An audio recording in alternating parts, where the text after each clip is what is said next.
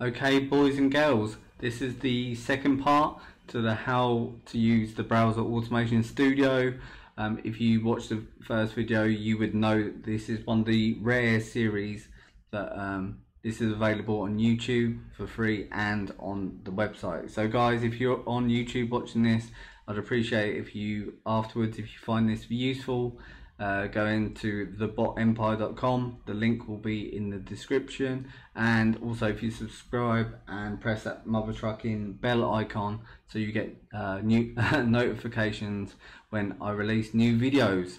Okay so in the first video we talked about downloading um, the framework the browser automation studio or as I said from now on we're going to call it BAS okay so I'm going to just presume that you've done that and you know how to install um, a framework, you just double click on the exe and it will ask you some questions like where to install and also if you want in English or Russian. So I'm sure, you know, if you um, don't un understand how to do that, then you can drop me a message via um, YouTube or on the website, which is you'll get um, a quicker response if you mail me on thebotempire.com links in, in the description okay so we've got there and your uh, faced with this. This is what you're going to see when you load it up, the Browser Automation Studio for the first time.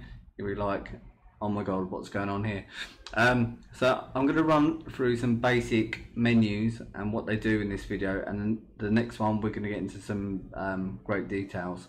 So um, I'll just run through these quickly and if you think I'm running through them too fast it's only because we're going to go through um, um uh, another video at a different time that explains the features in, in, more depth. But for instance, if you click project, some of this is quite um, straightforward, and I'm sure you've seen this in other programs. But um, project, new, to create a new one, open, save, show a database if you're working with databases. This is this is all standard stuff, which I'm sure you understand. So to open a new project, let's just say that you're making a scraper, new, and then you'd give it a name. Uh, open, of course, if you're if you've already got a project that you're working on. Uh, save, save as. It's quite straightforward. Reports. Um, these we're going to go into detail a little bit later um, because like the HTT uh, sniffer is for a different video, a bit more in depth. Okay, and build, um, compile is so once you've got your bot and you're really happy with it, then we can compile it, which just means basically make it into a real program that you can then send to your friends or buddies uh, or even your mum to show um, what a great coder you are. And then, um, yeah, so we'll use that feature later on as well. Also, it, it, when you compile a bot, um, you can if you've got the paid version of BAS, then you can then use that to upload to um, the back end there and then um, you'll be able to sell the bot or you know uh, charge people for that which we'll get into later on.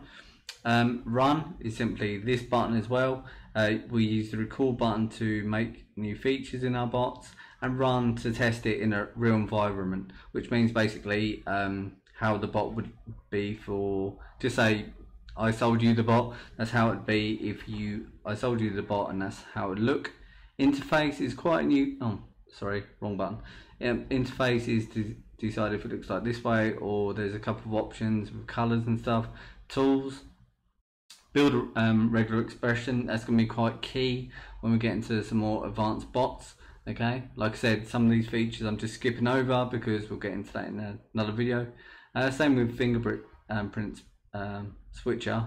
Um, we're going to need that later on. Um, so we'll get to some stuff that we're definitely going to need now. Um, let's talk about the resources. Okay, resources are such a key feature of building bots. Um, as it says here, is to um, add data, um, to use text files, controls, databases. And that's going to be in the next video. We're, really going to dig deep into how to do resources. In fact, I'm going to go over over every feature that you can do to make a resource. Um, so resource could be um, a proxy list, it could be a number for threads, it could be so many different things. But um, like I said, I'm going to go over every different angle you could use um, with a resource in the next video. Uh, to record, that's where we record the actions in the bot, like um, going to a browse, you know, going to a certain web page, or you know doing all the different things your bot's going to do so that's the second video and the third video what we're going to do is after we've made a simple bot we're going to start um, we're going to run it uh, which will be like how a user interface would, be. Like um, like I said if I sent you the bot and um, you were going to use it that's how it would look to the end user. Okay guys? So I hope this video has been a little bit more helpful. I know we've only got, gone over some of the features um, but the main things you want to take away obviously project make a new project open a new one save save what you've already done.